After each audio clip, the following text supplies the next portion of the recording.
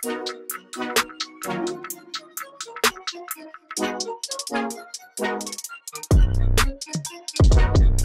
is up, everybody, and welcome to the Mind, Body, and Pockets podcast, where we take lessons learned from people in the marching arts community to help you level up your life. I'm Eddie. And I'm Paula. And on this podcast, we're going to get to know the individuals who make up the marching arts community. They'll share their experiences in and out of the activity and the mental, physical, and financial lessons they've learned along the way. Today, we have Drew Linsalata on the MBP podcast. Drew is the creator and host of the Anxious Truth podcast, which is on track to hit 1 million downloads by the end of 2020. He's also the author of two fantastic books An Anxiety Story and The Anxious Truth, a step by step guide to overcoming anxiety, panic, and agoraphobia. Through his own bouts with anxiety, panic disorder, and depression, Drew learned how to understand and overcome those debilitating issues and has helped countless people do the same. To top it all off, Drew is also a musician and member of the drum corps community, marching mellophone with the Long Island Kingsmen in the 80s. We're honored to spend some time with him to discuss drum corps, mental health, and more. So please help us in welcoming to the podcast, Mr. Drew Linsalata. Welcome. All right, Drew, what's going on? Thank you, Paula, Eddie, for having me. Very cool. Digging the guitars in the background. If I have the ceiling fan on, this one will sway. The acoustic will sway, so it becomes known as the ghost guitar. Oh, nice. Very cool. That's awesome. So yeah, thank you so much for for coming on the show and, and doing this. Um, you know, anxiety, millions of people deal with some sort of anxiety or anxiety disorder. Um, and I've just found that in the performing arts activity, there are a lot of people that uh, have to deal with these issues, Mhm. but it's kind of taboo. Like, not everybody's comfortable talking about it. So, um, I myself also, uh, as Eddie knows, deal uh, have have had anxiety going on in my life for uh, a while, and we'll touch on that later. But I just um, over the years have met other people and know that it's an issue in our activity. So I thought it'd be amazing uh, to have you on and and share your expertise with everybody. Absolutely. Happy to do it. Yeah, I'm so excited because I've heard a lot about you, but I have nothing. I don't know anything yet, so I'm so excited about getting to know you and and seeing how much you've helped Paula. I'm just grateful myself because it, it's showing me another way to kind of help on the other side of things. Um, Yeah. but tell us a little bit about yourself. You did drum corps. What was that? Where did you start? What years did you do? Where did you march?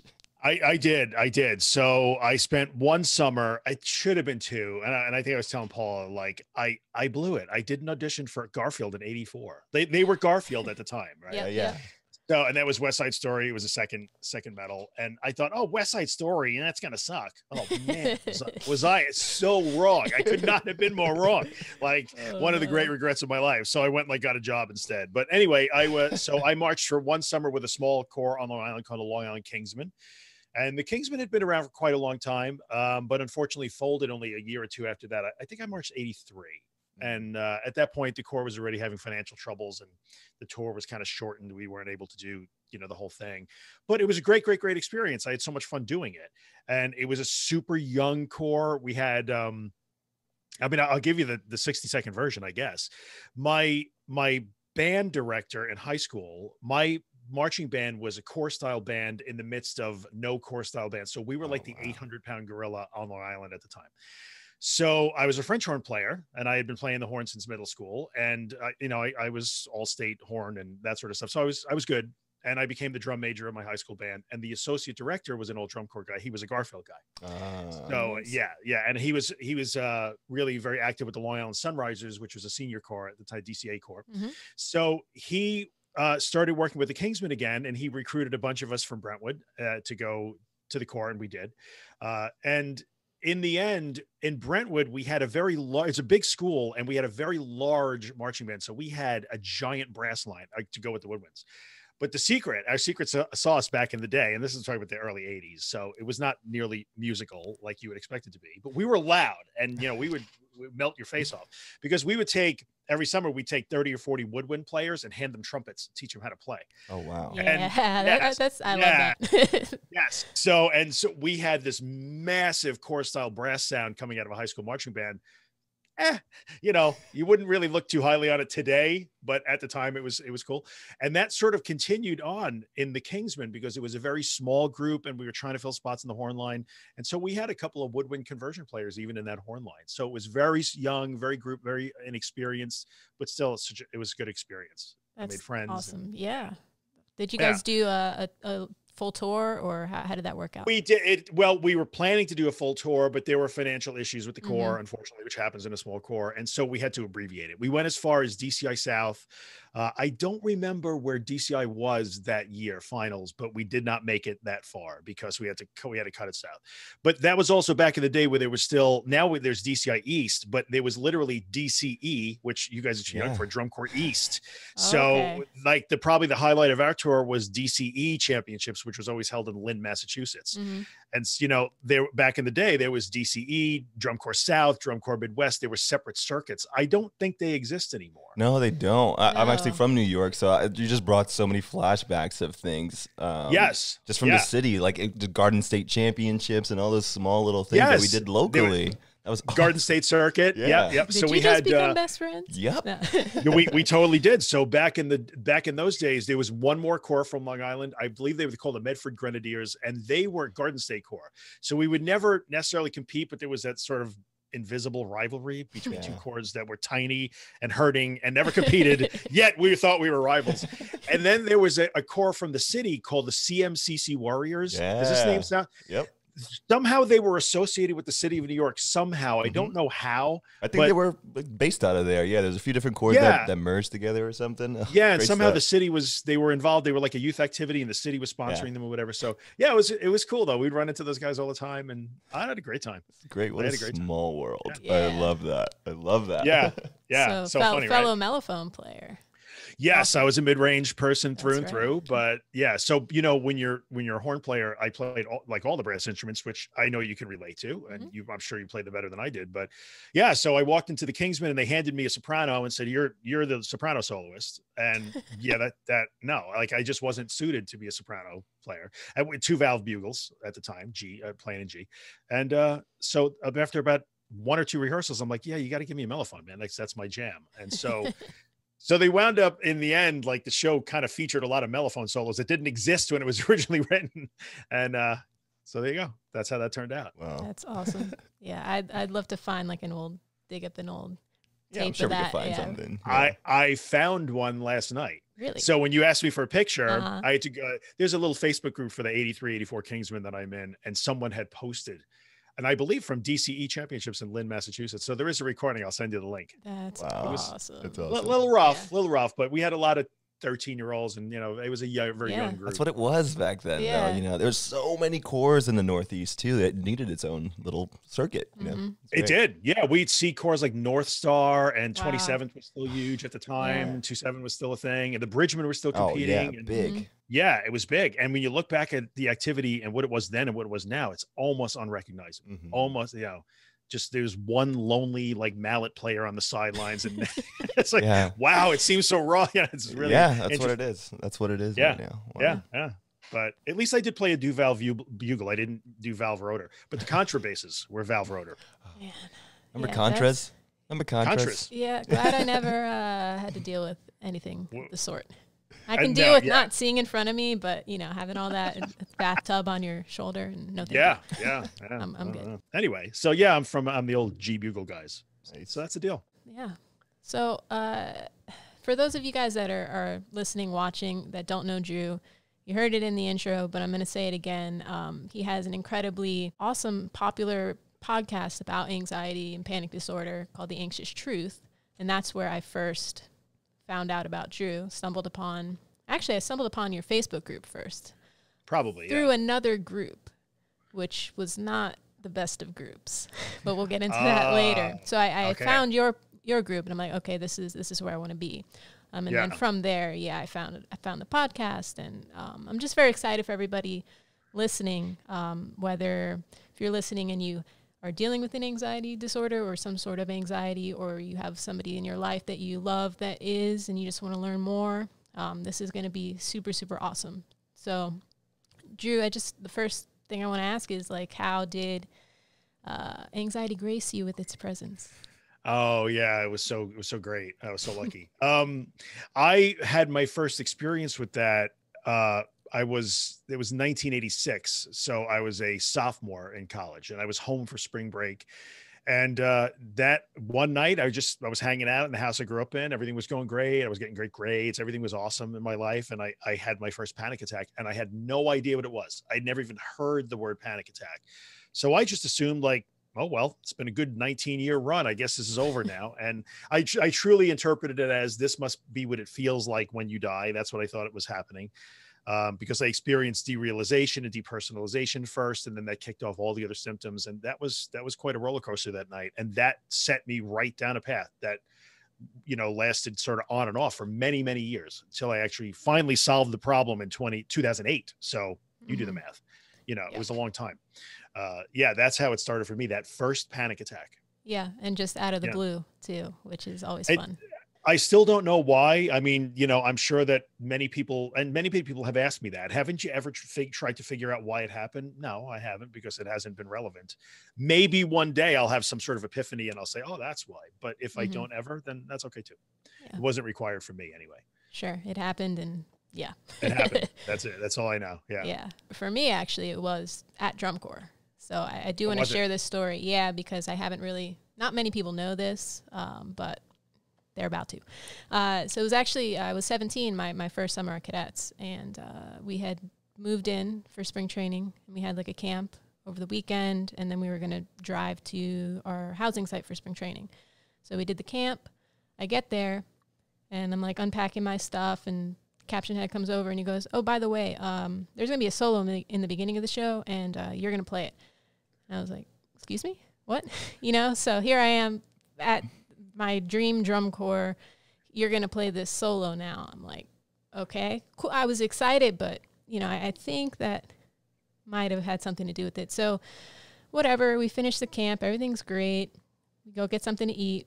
Burger King. Get back on the bus, and then I sit down and I just started feeling kind of weird, and and my heart was like racing, but like yeah. out of nowhere, the typical. And I asked my friend uh, Kristen. I said, "Hey, is my heart like beating really fast?" And she was like, "Oh my god, yeah, it is," so or something like that. So that's like, boom, right. you know, Just sets you, you off exactly. Um, yeah, so, yeah. but you know, nobody nobody understood what was happening, so I, I totally get it. Uh, so they got me off the bus, and it just kind of spiraled from there. And the admin guys freaking out in the van, driving me to the nearest, you know, urgent care or whatever. And, you know, yeah. the whole uh, as you called it in, in your, your first book, the uh, buffet, the all you can eat buffet of, of uh, symptoms was happening. And, and yeah, yeah like, yeah. like you, you just mentioned it, I thought, well, I guess, I guess this is it. Like, you yeah. know, because what else? I've never experienced anything like that before. It was like out of nowhere. And I thought, yeah, I, I, I finally make it to my drum corps of my dreams, and now I'm gonna die. you know, yeah. so uh, before the first show, I'm not exactly. I didn't even get to put the uniform on. Yeah, so that that's kind of how it happened, and and uh, they take you in there and run all the tests, and then I just remember them saying, "Yeah, it's uh, it's just anxiety," and I think yeah, that's you had a panic attack. Yeah, you had a panic attack, and I think that's the first time that I heard that term. I believe it just yeah. Was like, Why would you? Right. Yeah. Right. Exactly. Why, why would you hear the term? I, I never heard the term either. I didn't know what it was. Yeah. What was interesting about my experience is it happened while I was at home. I did not have anybody say the word panic attack to me for months, probably. Wow. Yeah. So I truly did not know what it was. What's interesting is I did not interpret it as any particular thing with, that was killing me, like a heart attack or a stroke, just generally speaking, death. I like, so it was really weird, but it took me a long time before I actually saw a doctor or a medical profession that said, "Oh, you're having a panic attack." I mm-hmm. did. I had no idea. No idea. Wow. Yeah. So strange. Well, you have to remember also, there's no internet. 1986, I couldn't yeah. Google right. it. I couldn't. Yeah. You know, I was like, I was whatever. I didn't know anybody who ever had anything such a thing. So it was just I don't know. I figured it out on my own. Yeah, and so, for, for yeah. me it was it was 2002, so there was internet, but like we didn't have smartphones. Not like today. Exactly. Right. So you know, I'm I'm back at the housing site, and I still really don't know what happened, and I there's no information on it either. They they gave me right. a bottle of pills, and they said you'll be fine, which I never took, and I'm I'm yeah. very grateful that I that I never did, but Yeah, I know. A lot of times, the first thing they'll do is give you even like a antihistamine, like it's Mm. because Benad- like Benadryl, it'll you know make you sleepy. So I've seen that too. But Mhm. uh, It's a lot Yeah. of progressions from then to now, I guess, huh? A lot of Oh, yeah. information out there now too. Um, Yeah. That, that, that brings me to you. You mentioned a couple things um, after the first question. You said like depersonalization and stuff uh, about some of the systems. Could you unpack that a little bit for us? some of us that might Mm. Yeah, not absolutely. be so familiar? So, you know, there's uh, uh, panic attacks and waves of extreme anxiety come with very predictable symptoms that, you know, we could list them all, but there's no point in doing it. But some of the most common are the racing heart. These are the effects of adrenaline racing heart, hard to breathe, feels like you got a tight band against your chest. You're a little bit, di- or you feel dizzy, you're disoriented, um, the tingling hands, feet, nose, numb face, that's hyperventilation and depersonalization and derealization, which are dissociative states, if you want to talk about the technical, like behavioral sciences term. De- depersonalization is when you you don't feel like you're real anymore. So imagine looking at yourself in the mirror, but suddenly you look at yourself in the mirror every morning when you shave or whatever, and you don't give it a second thought. But when you're depersonalized, you give it all the thoughts and you don't look right, and you're trying to come to grips with what you're looking at. And derealization is when the world outside of you no longer feels real. And it's so funny because you guys would appreciate this. The way I have always described it, even to this day, is being an eighth note off from reality. Uh, So I'm I'm Wow, just I'm yeah. I'm fa- I would call I would literally call it phasing, which I know you guys will appreciate. Wow. Like I love that. That's great. yes, Uh, and It's so, so and no one ever knows too. why, but Yeah. yes, I was like, you know, it's like when you're phasing and people would be like, "Huh?" And I'm like, "Oh, forget it." Just, I'm just I'm a little off. I'm like an eighth of an eighth note off from reality right now, and that's Ah, what it feels like. You're just you're not uncomfortable. connected to it. uh, It's ugh. it's super yeah, uncomfortable. you see, he's It's- Yeah, sorry, I just- right now. super uncomfortable. I just got on that level and got some goosebumps thinking about that just because I, I understand a little bit more now after you um, unpack Yeah. that for us. Uh, are there different types of anxiety or is, is that like the main, s- like, I guess, steps of symptoms that you would normally feel? Uh, well, there are different types of anxiety. I mean, every human being experiences anxiety of some kind. So when you find that you're going to play the solo at the beginning of the show, you probably experience some form of anxiety or another. You know, there's a worry, there's fear, there's uncertainty. Those are all forms of anxiety that every human being experiences from time to time. But when you realm into the situation, when you kind of get into the realm where you're experiencing anxiety disorder or persistent bouts of anxiety, there are different disorders like generalized anxiety, anxiety disorder, panic disorder, social anxiety, health anxiety, OCD, panic disorder, panic disorder with agoraphobia.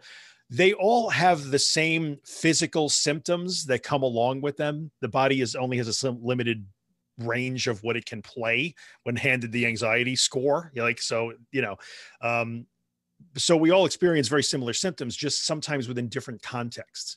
So people that have what i had which was panic disorder and i guess paula where, where you were too when you experience panic a panic attack many people experience panic attacks in their life once or twice and they shake it off and it's over and they think oh that was weird and they never think about it again. But people who develop panic disorder become so afraid of repeating the experience that they start to worry about it if it's going to happen again, you start to predict it and you begin to avoid things that you think might make it happen or the situations that you were in. So you're lucky that you did not develop, like, I got to get out of here and go home. You would have missed your whole corps experience, you know, Yeah, it, Which- it's, which would be super common. Most Yeah. people, many people would have done that. Like, I got to get out of here now because this clearly is not a safe place to be. Right. Yeah, I'm I'm Yeah. really shocked that I I didn't. You know, it kind of I don't even know if it crossed my mind. Maybe I was just too young to to really Yeah. understand. Um, but it was rough for a little bit, and I do remember, you know, wanting to go home, and po- probably just because it's your your first year and it's difficult, it's hard. You know, everything's Right. physically taxing, mentally taxing. But I got over that, and you know, I was fine. And- But if I if I didn't, or if I had taken that medication and maybe, it, it- you know, I wouldn't be able to, to be in the sun or rehearse. So it's just, you know, I'm glad it worked out the way that, that it did. And it would have Yeah. changed the whole trajectory of my life. We would not be Oh, yeah. uh, a thing. Right. thing, Yeah. Imagine, So imagine. yeah, it's, Yeah. it's, it's Yeah. crazy. And in the end, the fact that you did not run and escape from that situation is what kept you, which what got you over it in the end, because that that avoidance leads to the disorder taking bigger and bigger hold in your life, and avoidance in its ultimate form becomes agoraphobia. People who wind up stuck in their homes and that sort of stuff. So, but this, the feelings and the physical sensations and the, the the thoughts, the catastrophic thoughts, are generally the same. We just experience them in different contexts depending on what the disorder actually is. That makes any kind of sense. Absolutely, Uh, it's it's starting to click a lot more for me, and I'm gl- so glad you're here because I'm I'm now well. It was when you said OCD because I I don't I haven't had many like panic attacks or anxiety in my life, but I definitely have a little case of OCD, uh, maybe a big case of OCD if I'm being very transparent. And when I don't do certain things, there is a certain discomfort that comes up over my body. But then I do the thing and then it's gone. But I do the thing so often, the things that I don't really feel that anxiety, and I'm just like, is that what you feel every single time? That whoa, really?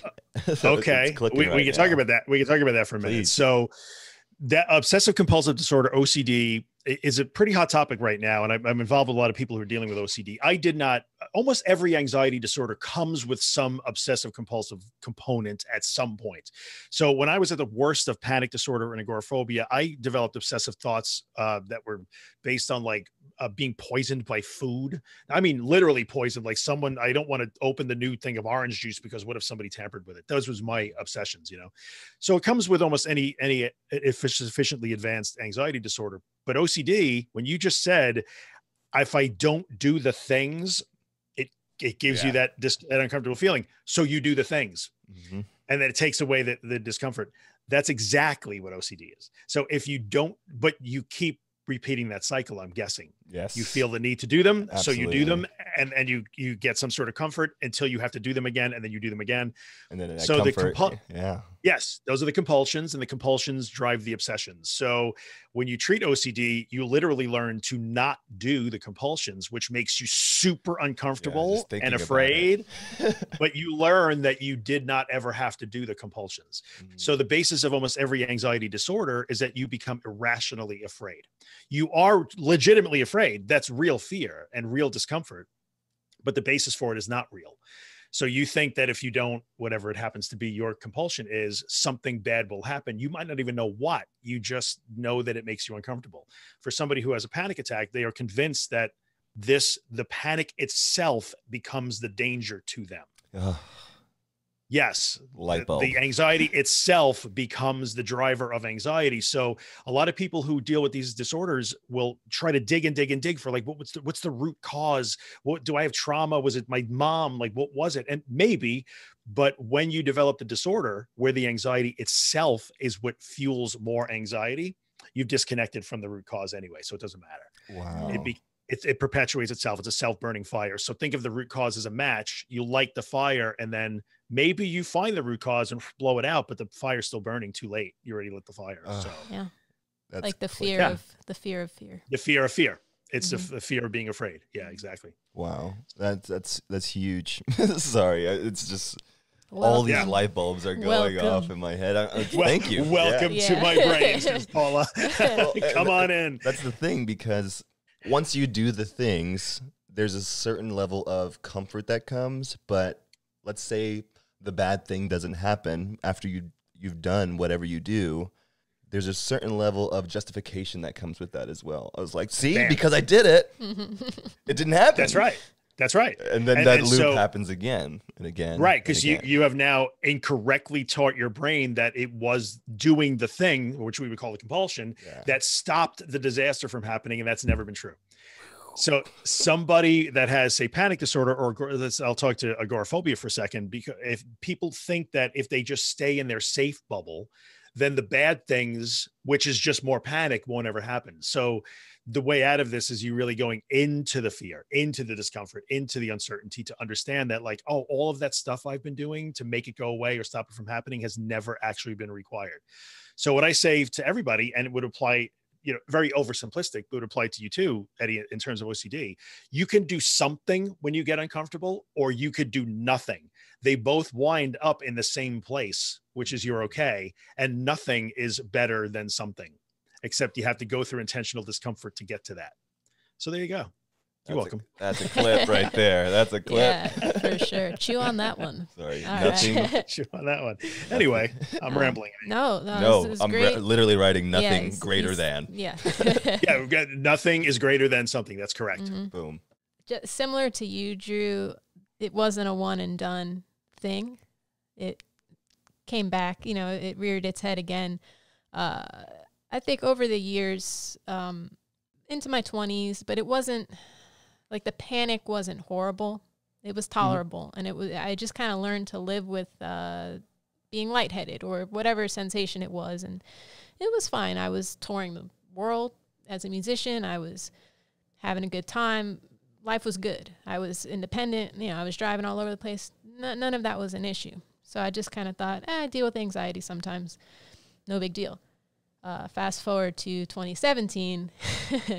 it's like, we're not done with you yet. And uh, it, it came back in, in the biggest way ever. And it had been so long since the first time I forgot what it felt like Yes. to have that moment. And it, it woke, it was in the middle of the night and I was home alone sleeping. So Yeah. I really literally did think this is it. I'm, I'm done. And it was a particularly stressful time in my life. I was uh, changing jobs and all this stuff, but yeah, came back. And that, that's been the, the struggle, um, doing so much better now. Like I feel Yeah, it's Like and day. 80. Yeah. 80% there, 85% there. Good. Um, yeah, thank you. But but yeah, at that point it was just like, wow, it's Yeah. back. It's better than ever, and it was really um, limiting a lot that was going Yeah. on, and the fear was very. Uh, it was scary. Yeah. And then you learn to avoid those those scary things but it's Mhm. human nature. Like we are creatures of comfort. We're cre- creatures of the path of least resistance by nature. So we we want to avoid being uncomfortable. Yeah, and that that's a bad thing in that situation. Definitely. so yeah. I, that's exactly what i went through. I, I lived it three times you know in in my life. The first time uh, the second time it got really really bad. The third time it got really really bad. So same situation. And when there's a gap between it you tend to forget and the reason why it comes back most of the time is that you never actually completed the work. But that's okay. It's not your fault. You didn't even know there was work to complete. Right. so how would you even know there was anything to do? Yeah. Uh-huh. Wow. and that that's what tends to happen. People just think well i just sort of deal with it. I tolerate it. But they were never given the information that says oh what this is an actual thing and i can learn to actually not be afraid of this. And so if like i could be having a panic attack right now you would have no idea. Mhm. so that is the ultimate goal but most people don't get that information so they just kind of wait for it to come and get them. And they will engineer their lives to be okay. I could do stuff i'm okay i just don't feel great sometimes or most of the time. And then sometimes you can't engineer the comfort and it comes and it gets you and you don't know why and yeah Mhm. it's yeah. So it does i call it engineering an acceptable zone or an acceptable bubble. Yeah, I like Yeah. that. I gotta read these books. Yeah. Is mind blowing. Everybody, we'll talk about it at the end, but everybody needs to, if, if you're dealing with this, um, fantastic books, uh, podcasts, everything. It, it, ju- it just reminded me of, of, of in 2018, so about a year of, of this being back, I was supposed to teach uh, drum corps over the summer, and I wasn't going to go. I convinced myself I can't leave my acceptable Your- bubble or your you know, comfort My comfort Yeah. zone. You know, I, I can't do this, and I really was. I was this close to just not going. I was talking to my mom and I talked to Eddie about it and you know everybody's like do what you feel like you need to do but you should go. Like you should go do it. And I did. Yeah. And it was not easy, but I'm so glad that I did. It didn't magically fix things, but I was able to I was able to improve in some areas and just go straight towards the fire if you will instead of retreating. Yeah. If nothing else, um, and, and there's a way, I mean, you know now because you've been involved in your learning and your listening and all that stuff, and you've, you're doing a great job. So there's a way to do this though. It, it's more, a lot of people feel like, oh, okay, I just have to go and do all the scary things. That's true, but there's it's more than just doing the things. However, the fact that you went and took the job and went and, and taught that summer is huge because it at least stopped the backslide of avoidance at a minimum. It kept you from getting into a smaller and smaller bubble, which is what would happen when you give into the avoidance. So we teach ways to go toward the things that you fear that trigger anxiety, that trigger waves of panic. You got to go toward them, but you have to do it in a way. It's systematic, it's incremental, it's planned. There are techniques that we use. So it's not just white knuckling your way through the fear, getting through it, running back home, and I did it. Like it's it's it's way it's more than that. It's more nuanced than that. It's not super complicated, but there's there's more to it than that. And that's how we solve these problems by doing that. Yeah. Um, that's the basis of things like cognitive behavioral therapy, acceptance and commitment therapy, dialectical behavior therapy. They're the most effective treatments that we have on the planet today for these disorders by far. It's not even a question anymore. hmm Yeah. And Yeah. and I had had just kind of stumbled into the CBT uh, arena before Yeah. uh, deciding to go, so I feel like that that certainly helped move me in that direction. Um, but like you said before, I didn't know that there was really work to be done for however many years, sixteen years uh, of just kind of I'll deal with it. I'm okay. You know, so Yeah. it's it's This is just a thing I have, I guess. Yeah. It's just, that, you know, you don't know. Right. we don't talk about it. No one educates us about it till the, till, unfortunately, we don't get educated about it until you have to be educated about it, right, which sucks. right. It means you're struggling. Yeah. Yeah, Which Exactly. I'm actually curious because I haven't been educated on it at all. Is there, like, well, as performers, there's a lot of us that would get performance anxiety for sure. And I'm now realizing that that's exactly what that was, you know, going up for the solo, going up for that, the whatever, you know, like it's just going back to my OCD. I used to have a trumpet tech when I marched at cadets, Sean Farilla, Farilla, shout out to Sean Farilla. But he would have DCT ready for me, like the lip balm on the side before every show. And I told him, you have to just have this before every show because the one time I, he did and I did and I got it, I had the perfect show. So obviously, he was the reason why I had the perfect didn't know show. this. Yeah. Literally for two years straight before every performance, he would have lip balm ready for me. I have to have the lip balm. Yeah. yeah. Wow. So I, I'm curious of what what steps would we take as performers that could help us as we encounter performance anxiety? Well, I mean, performance anxiety, you know, in terms of the performing arts is super common, but that's that's just being human. That's not a disorder, and it's not even necessarily a thing that you would particularly treat. You mm. know, so how many amazing performers that you know that have made amazing successful careers in the musical arts suffer from crippling performance anxiety and they do but they mm. just know that like oh, i'm going to be super nervous until i get on stage or until i mean look even you know i'm guessing that that anxiety that you maybe felt as soon as the show started probably went away you Yeah, know now, now you're just time, yeah. performing Mhm. right yeah now you're just performing But so it, it that's not necessarily a thing that we would have to treat. It's not really a disorder, but you could engage in similar techniques like you'd learned from a CBT therapist. You know, you go toward the things that you fear. You challenge those mistaken beliefs like the lip balm.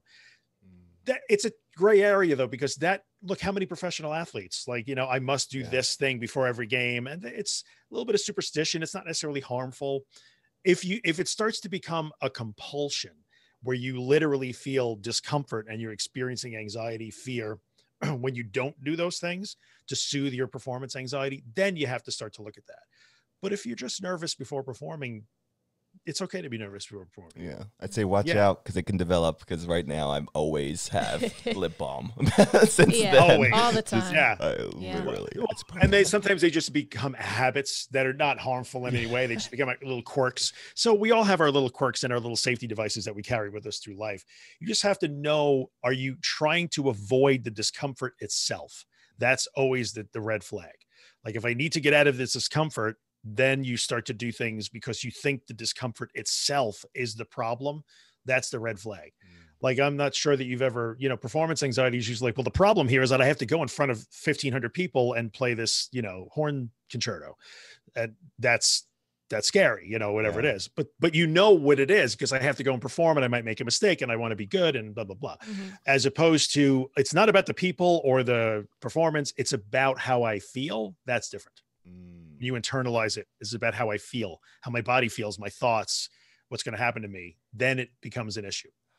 Yeah. Does that make sense? Absolutely, yeah. And Yeah. I, I'm trying to s- s- understand the difference too because I, I felt both before, and they were very, very, very different. And you're totally right because once you start the actual performance or whatever that thing is, it usually goes away, Mhm. or something goes catastrophically wrong, and you're just like, ah, I need to get out of here. Yeah. Um, but usually the case is I'm. I'm, I'm good. Okay, let me just get to it, and then once you get to it, you get through it. Yeah. yeah. Yeah. And people have, you know, like, I don't love to fly. I'll do it. And I'm going to be nervous before I fly, but then, you know, you do it. So feeling anxiety, apprehension, fear, nobody wants to be uncertain. We all want to do a good job at what we do. That's kind of normal stuff. You don't really necessarily treat that. You just have to be careful that it doesn't develop into something else. I, I get I would get negative thoughts sometimes. Like Mhm. you're gonna crack that first note.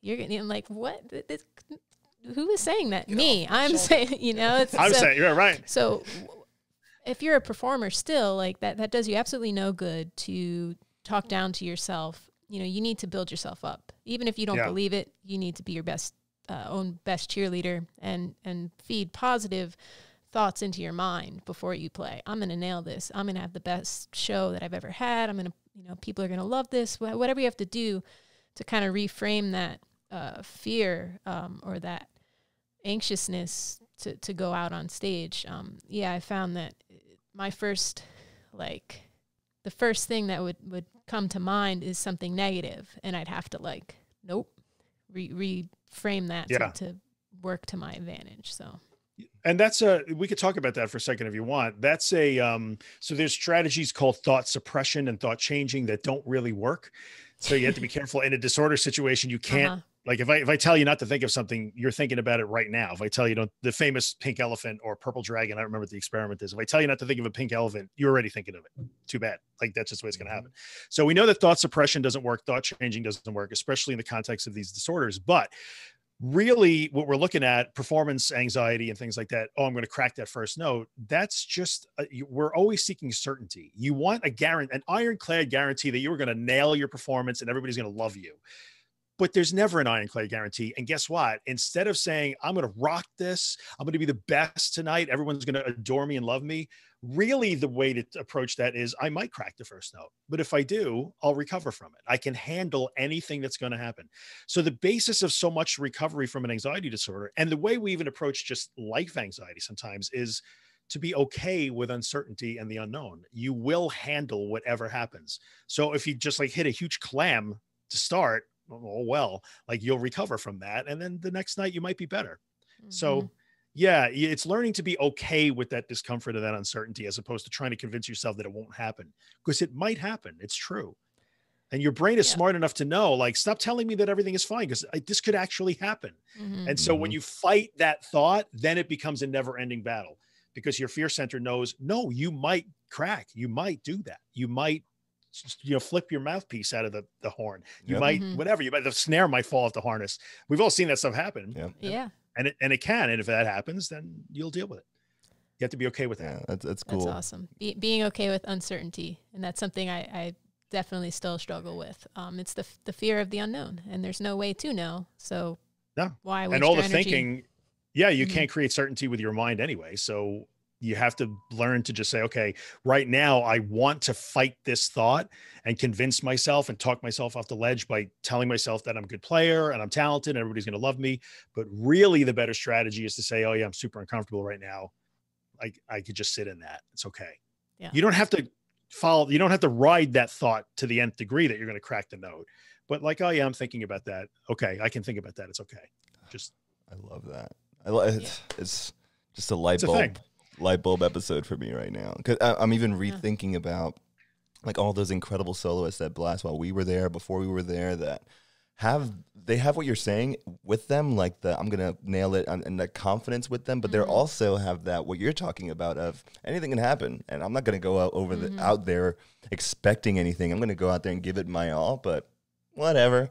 And there was always that sense behind it. The Cortlands, the Adam Yeah, Rapa, yeah. the Andrew Smith. Like there was always that like whatever happens happens, and then they go out there and nail it, eh, like pretty consistently, you know. And yeah it, it's funny hearing both sides of that because it, it's almost like an added, like t- ingredients to their cake to make them extremely successful at that. Extremely. Yeah, I think so. A- And whether it's musical performance or performance in business or whatever your your field of endeavor is, in the end, knowing that you can handle whatever the circumstance is, that's deep confidence. Confidence isn't like I am great and I'm always going to nail it. I'm going to be Mhm. perfect. I'm not going to make a mistake. Confidence is I might make a mistake and people might not like me, but I, okay, I'll be all right even if they don't. Yeah, that's a very like specific line too, like almost arrogance versus confidence, and yeah, Yes. yeah, Yeah. that's that's huge. And it just made me think like it's difficult if you're a perfectionist, and that's also an issue. You know, I, I would just not enjoy making a mistake, and everything could be fantastic. Oh my God, you sounded so wonderful. And if I, you know, one wrong thing, or if I didn't feel it was my best performance, then that Mhm. was, You you, know, you get up. over it. But Yeah. yeah, it's it's you, you do beat yourself up a little bit. At least I, I had issues with that um, in the past, like just perfectionism when it comes to whatever I'm doing, but but definitely in in music. Yeah. Yeah. Have you found that it's gotten better as you've done some of this like recovery work? Uh, I think so.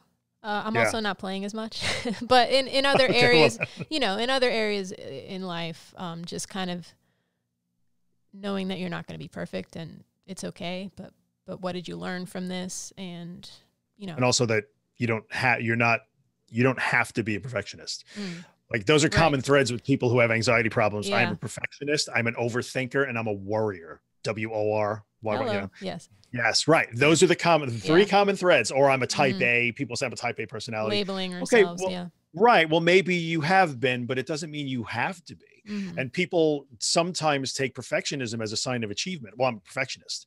Well, that makes you feel good to call yourself a perfectionist because it thinks it makes you better at your craft. But it it actually doesn't serve a purpose in the end. So sometimes as part of this process of recovery from an anxiety disorder, you confront a lot of stuff like that. Mhm. Like, oh, I've been it's been driven by my perfectionism, my propensity to worry. Some people think that worrying equals loving. If I'm worried about you, then it must mean that I love you. And if I don't worry about you, then I'm a heartless bastard. But No. Mom, that- you're that's- listening right now. that some that is a very very typical well i'm just a worrier well no you think you have to be a warrior we don't have Mhm. to be any of those things Yeah. yeah so we learned those lessons too along this way so there you go Your mom's gonna laugh at that. Yeah. Hi, mom. I love you. You're the best. No, really, she Hey, is. Paul's She is mom. fantastic. Um, some light bulbs turned on for me as well. Like, oh, maybe I could have approached that this way. But it, it's it's yeah. I'm gonna enjoy like listening back to this one and and really uh, writing some things down.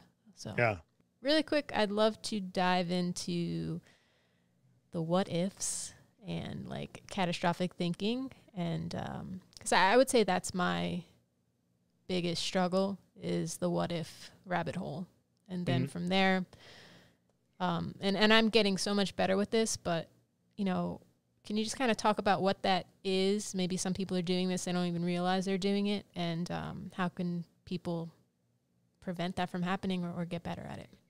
Yeah uh, what if is a super common driver? Those are the, that's the common thread almost among almost any uh, negative or fear fueling thought pattern when you have an anxiety disorder but just in life in general people hate what if. They just we can't tolerate it.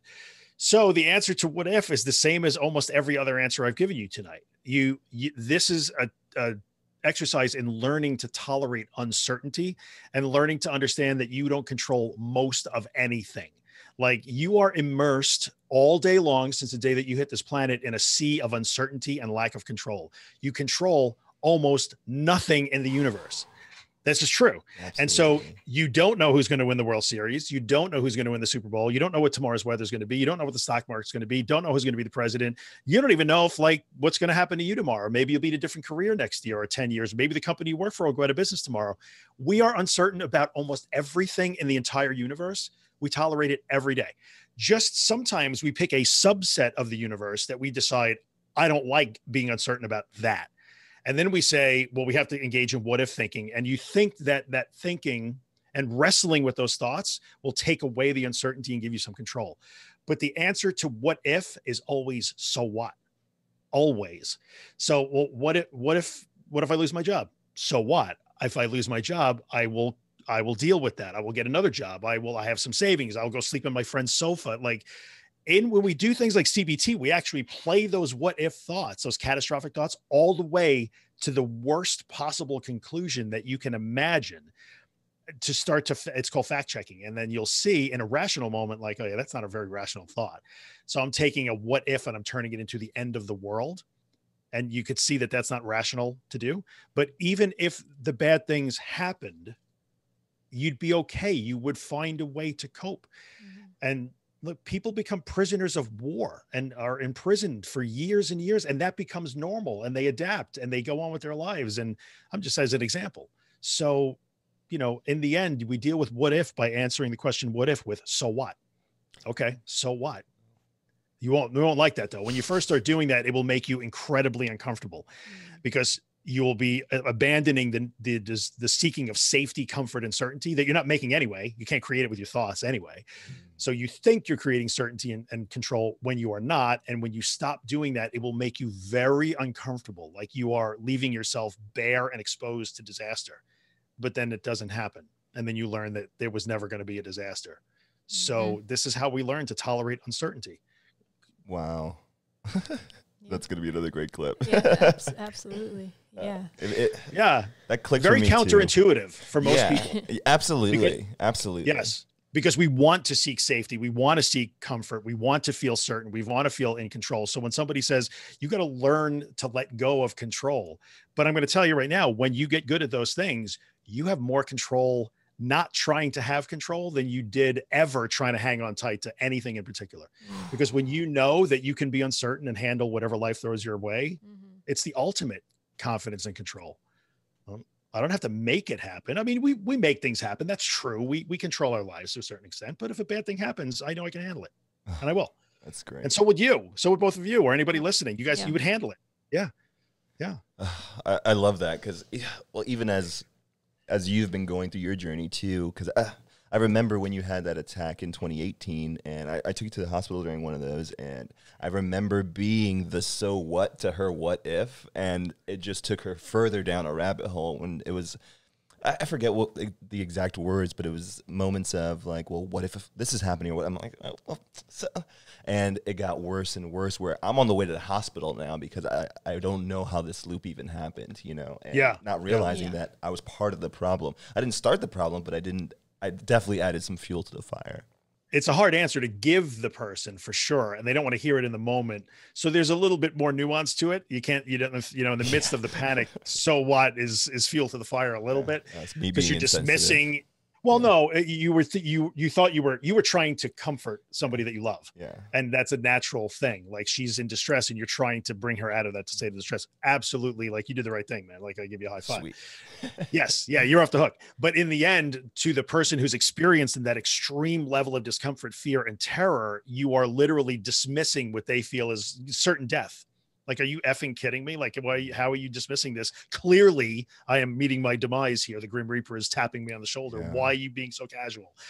But Wow. you know, we can make jokes about it, but that's what it Yeah. feels like in the midst of when the shit hits the fan. You know. That's Mhm. great. Uh, So, so what are some things we can do for a spouse, a family member, a friend, if we do see them going down that rabbit hole?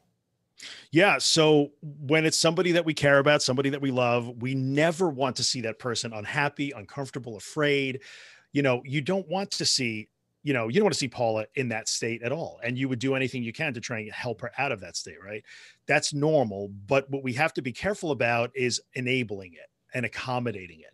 So some people are, especially people who are like a little bit more tending toward being caregivers or fixers, like you will start to accommodate that person's fear. So when your son, your daughter, your wife, your husband, whoever decides, well, I don't, I don't want to go out to dinner tonight. Well, yeah, but we used to do that all the time, and you could see the avoidance starting to happen. Okay, honey, it's all right. You don't, we don't, we'll just stay in tonight.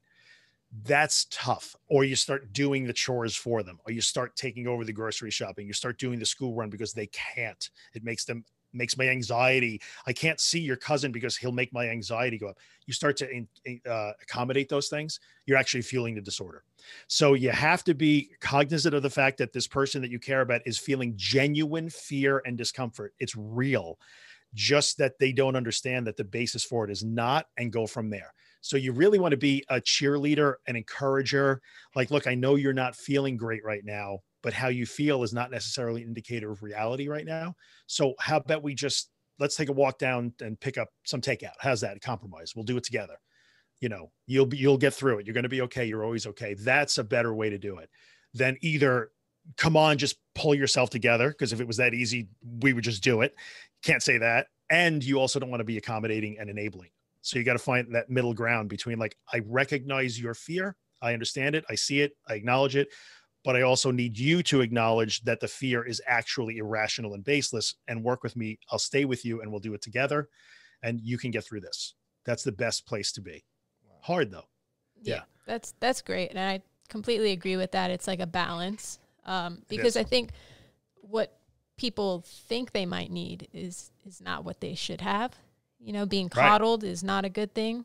Um, I think uh, when you're in the midst of that and and you haven't quite gone through some of the recovery process and you don't really understand the things that you need to do and or or you don't understand fully what's going on, all you want is to be safe. You want to feel safe. Yes. You want somebody to to not be judging you, right? I think that's really important. Um, Mhm. Is to feel like uh, you're accepted, okay? Because it's not a proud moment w- No. when you're when you're feeling that. Um, but Right. I, I think it's really important not to coddle somebody, which he does a really good job. And, and you know, I laugh about it, but he does a really good job of Good. not feeding into that um, side of it. Um, but I think it's like finding a balance. you know, I think you need a little bit of un- you need the understanding part, Mm-hmm. but you also need the this is the facts. You've always come out of this just fine. Would you, Mhm. would you say you have a hundred percent track record Mhm. of Yeah.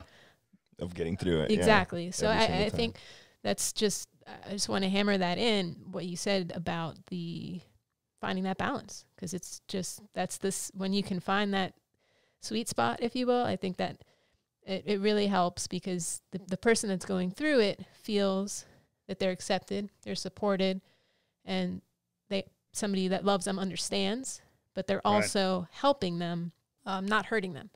They're Right. pushing them a little bit. I think it's okay to be pushed a little bit. I think we need that. you do need that and i think it depends on the state that the sufferer is in so there's two positions that you could have so paula you're clearly you you know what's going on you've been doing the work you've been learning you've been actively engaged in recovery from the problem right? So that makes it easier for eddie to to be a cheerleader a supporter uh, you know prop you up when you need it a little bit. For somebody who doesn't know that and is still and you talked about the the first facebook group. Let's we should bring that in a little bit now. Yes. Coddling, right? Coddling, and Oh, nobody yeah. understands this is terrible. It's the worst. Like, Right. let's all compare our Or symptoms and commiserate. exactly. I have Yeah, this. so- Does anybody else have this? Like Right. yes, Let, yes, us all tell each other how terrible it is, and no one understands. We need more awareness. My husband is awful. He doesn't understand that I can't go shopping. Mhm. So if the person is still at that stage of the disorder, which everybody starts at, they and an anxiety disorder is immensely selfish. The person isn't, but the disorder is is world class selfish, like Oscar winning selfish, not the person, the disorder. So it will take all the coddling, all the enabling, all the soothing, all the reassurance. It will continually ask for more and more and more and more. So when you your partner is still at that stage of the game where they want you to soothe them, reassure them, comfort them, hold them, coddle them, and they will not even imagine the idea that they should be pushed toward the fear, different. Because now that person has to take the responsibility that Paula has started to take mm. for her role in it. So it's perfect when you could say, hey, you know what? You've had 100% track record on this. You know what you're supposed to do. And Paula, you could say, that's right. I have to just sit here and let this happen. And I know I'm going to be okay in 10 minutes. That's perfect. But when, if you say you have 100% track record and Paula is still stuck at the early stages where she, this is terrible. This is awful. What, what I shouldn't have to feel this. I should, this is not natural. Don't tell me to be afraid. doesn't work. It, it now it's now it doesn't work because now that person is pissed off at you because you're pointing at the obvious. To them, it is not obvious Yeah. in any way. yeah. Gotcha. So it depends on where they are. Yeah. And be careful who you surround yourself with. That group that you came from. Mhm. Typical. Typical. It does it's not helpful in any way. Yeah, yeah. I was in there for a very short amount of time because Yeah. I, I saw how it just wasn't the direction I was trying to go in. I had been there before. You know, you, you feel sorry for yourself. You wonder why is this happening? I'm tired of this. Blah blah blah. But it's it's just it's really enabling. Everybody's enabling each other to to stay exactly where they are and just be in that loop over and over and over. And that's not where I wanted to be.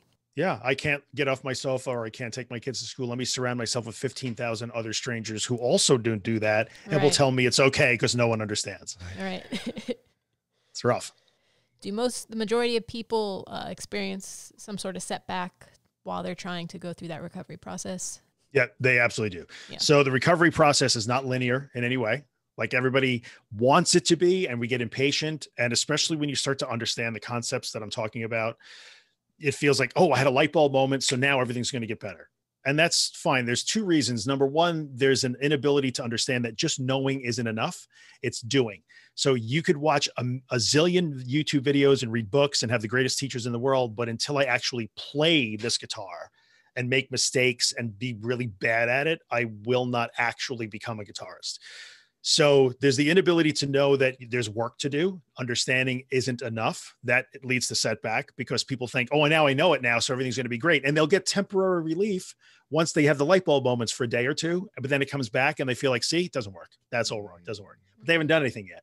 The second problem is that people aim at the wrong target, which is I'm going to make this go away, and that's not this is going to sound crazy to a lot of people watching, but that is not your target. So if your problem is anxiety attacks or panic attacks, you are not trying to make them go away. And you're going to lose people. They're punching out right now after I said that. Like this guy clearly doesn't know what he's talking about. You are trying to learn to not be afraid of them. And then when you are not afraid of them, then magically they will go away. But you never try to make them go away. So they aim at the wrong target. And then they like engineer two weeks without panic and think, I got it. And then they have a panic attack. And it's like, damn it, I, I failed. Everything is wrong because they think they're never supposed to feel the things. Mm-hmm. That's not true. So that's why setback happens. It's a misunderstanding. It's an it's a lack of deep understanding of what the process really is. Maybe they haven't gone far enough in it yet, and they're shooting at the wrong target. So there's going to be so there's going to be days that you feel like you're back to square one. You're not. You cannot unlearn what you've already learned. Right. It can yeah. feel like that though. It can certainly feel uh, absolutely discouraging. You know? discouraging, yeah. frustrating. You get angry, like I just want this over. I mean, man, I had those days. I did. Yeah. So that's normal. So what I always say when you when you have what you and here's really in the end, you're going down the road, you're doing the stuff, you learned all about it, and you say you're in a setback. A setback really means I stopped doing what I know I'm supposed to do. And I started falling back into the old behaviors that I know I'm supposed to not be doing. Mm. That's really what makes a setback or a backslide in the end and when you have that's that's a setback but when you have the days where it's super discouraging and everything my advice is always be discouraged. Like it's okay. You can be frustrated discouraged disheartened angry. Let that happen. It's okay. You're human. And then go back to your what i call a bad day playbook. Mm-hmm. like what mm-hmm. am i supposed to do on a day like this? Lick my wounds for two hours you know sit in front of a tv and veg out and be angry. But then i have to actually execute my playbook again to get myself back on track. Mm-hmm. so there's a lot there's things to do. So sure. I wish I could tell you all in one answer, but no, that's but, why you got to get this book. Come on. Yeah, that's what, what, what, uh, well, there you go. That's you're hired. Right. well, well, let's uh, let's talk about that a little bit. Uh, so, sure. um, you're an author of two books now. I am. Did you Who ever knew? did you ever think this was going to be uh, your future uh, back? In no, in a million years. So I'm actually in the technology business, right? I've been a technology guy since the first dot com boom. And if you had asked me even a year ago or six months ago, I would have said, Oh, yeah, I'm a technology guy. I happen to podcast about anxiety and anxiety disorders. These days, I'm I'm really like an anxiety teacher that happens to be in the technology business. So it's funny how it turned out. In a million years, I did not think I would have ever done this. I would have I started helping people as just to pay back the help that I got. And it, I never in a million years would have thought it would have gotten to this point where the podcast is so popular, the community is so big surrounding it and growing every day. And I, I actually wrote two books. Who the hell? I, ne- I never, I still awesome. don't believe it. Like people post pictures holding the book, and I'm like, I wrote that. Like it's just the strangest thing mm-hmm. ever, dude. I gotta tell you. Congrats, that's incredible. Yeah, that's awesome. Really weird. And really it's, weird. It's it's gonna help so many people, and it already has helped so many people between the podcast and the Facebook groups and all that, which is incredible. Um, it's it's kind of like you know you went through all of that, but it was for a purpose. Uh, That's what I feel like. Mm-hmm yeah for me in the end like it feels like all the stuff that i went through has a, a silver lining now it wasn't for mm-hmm. nothing i learned stuff and it turns out i'm pretty good at relaying the message i didn't invent any of this by the way i didn't invent any of this i'm just really good at telling I guess telling people how it works. That seems to be my thing. Who knew? Well, you, it's it's no nonsense though. It's to the point. It's you don't beat around the bush, and I, I think yeah. you know that style is refreshing because there's so many others that they're doing great stuff, but they don't approach it the way that you do. Mm-hmm. And uh, it's think, really easy to digest. Mm-hmm. Just just meeting you for the first time, hearing your voice for the first time, it's really been refreshing yep. and and really easy to, to to. you present it in biteable pieces, you know, and every time you do bring another layer to it, it's just like, oh, light bulb, light bulb, light bulb. So thank you so much for being here. I can't wait to get into that book. You're very I welcome, guys. I feel yeah. like I'm yeah. gonna learn a lot. Awesome. So so let's talk about where everybody can get your books, find the podcast, all that good stuff. Sure. Uh, just start at the website, which is theanxioustruth.com. Everything is there. So there's now 120 something podcast episodes going back five years. That's all free. There's uh, links to all the social media, the Facebook page, the Facebook group, which I'm super proud of. It's like the coolest bunch of human beings Mhm. ever. Um, that stuff is all free, and I give most of everything away for free just because it's a nice thing to do, and I like to do it. And then both books are there. You'll see links to both. The first one is is a shorter book that's called an anxiety story. That's actually my 25 year journey through this thing, Yep. which was, th- was supposed to just be the introduction of the big book, and it turned into its own book. So Wow. my my editor was like, yeah. you're giving how are you writing a second book so she was a little bit blown away by that and then the second one is called is also the book is called the anxious truth that's a 400 page it's like taking a course in how to recover from an anxiety disorder Mm. and i, Wow. I wrote that just because there's so much information and you have to be able to present it in great detail and in a logical sequence because there is a sequence to follow and that's what that book is so i'm proud of it man people are using it they're digging it it's it's helping so that's why i did it Yeah. Ugh, That's I awesome. love it. I and love it. uh, the you know the, the cool thing is you went through it i mean it wasn't cool at the time but No. you, you went through it you lived it and you found ways to t- re- like rewire your brain basically Mhm. and to work through it and to, to rid yourself of it so because you went through it th- there's just a different um, relatability for for the listeners and just people who are searching for information when someone has gone through all the things and and when you guys read the anxiety story uh it's um sorry it's an anxiety story right A- and anxiety story so right uh, when you guys read an anxiety story by Drew, he goes through his entire uh, just bout with anxiety, Mm. panic, depression. Everything's in there, and it's so candid, and a lot of that was just super relatable. Um, so it was just it was just great to to read somebody's story, hear what you went through, and having listened to the podcast and all that, and then hear the actual story. It's so inspiring. It's awesome. Oh, thank you. I'm, Yeah. I'm glad it helped in some way. that one was yeah. super easy to write, to be honest with you. When I decided it had to be its own book, I wrote, I literally, I shouldn't say this because some people were, they, it's hard for people to write books. It was, it is hard to write books. I wrote that book in like four days. The first book, it just, That's Just- awesome. Wow. just, but because Mhm. you're writing your own experience. If I wrote, told you to write a book about, Right. you know, your experience with the cadets, you would have no problem writing that. Oh, it would just fall right out of your fingers. So Mhm. yeah, Absolutely. I'm curious. Just one last question, I guess, just because I'm I'm curious ask as how many you, as you want. how you would deal with this right now. So, after all the information you've learned, 25 years of experience, if you can go back 25 years of that that first moment we talked about in the beginning of the podcast, that if you can go and talk to that version of yourself, knowing Yeah. what you know now during that panic attack, what would you Right. say? I would say uh, that's a really good question. If I had to talk specifically to 1986 Drew and like tell him, I have to, I know what I was thinking. So some of the words I, I think I want to say would not have landed. Mm. So th- you have to experience some of that. What I'd probably say is a really good question, actually. What I would probably say is you're going to go through some shit right now. Don't fight it. Just let it happen. And you're going to learn a whole lot from this, and it's not going to kill you. I would probably say that because it's all that would probably stick. Mm. Saying this is fine, it's just panic, mm, wouldn't have stuck, wouldn't Mhm. have stuck. Mhm. So basically, like you're going to experience some really crappy stuff right now. It's okay. Just experience it. Don't fight it and learn from it. Uh, it's probably what I would say. That's I like that a lot. Great tip. Yeah, Yeah. Oh. very cool. It's a and good there's so much in that too. Yeah. but Yeah. we'll, we'll unpack that on the next episode. Yeah. Then. we You gotta know- do another one. Uh, yeah, Totally because this is pretty surface level. I mean, you, you went a little bit deep, but there's so much more, and all your episodes really go into everything in the book, of course. Um, but there's just so 400 much. pages. I didn't yeah. cover it all. so. there's just there's there's so much. Um, and just I just want to talk about this real quick. It reminded me you also were talking about your your 20 year old brain was different than your 40 year old brain, and how you Yeah. just couldn't process really w- what that was, and that there was work to be done, which I thought was really interesting, and I could relate thinking about my 17 year old brain versus where I am now, and just how you think differently, and and how things impact you. You know what? In the end, I'm a parent. So, you know, uh, you get to know you want to give your kids, for instance, the benefit of your experience. They're not listening.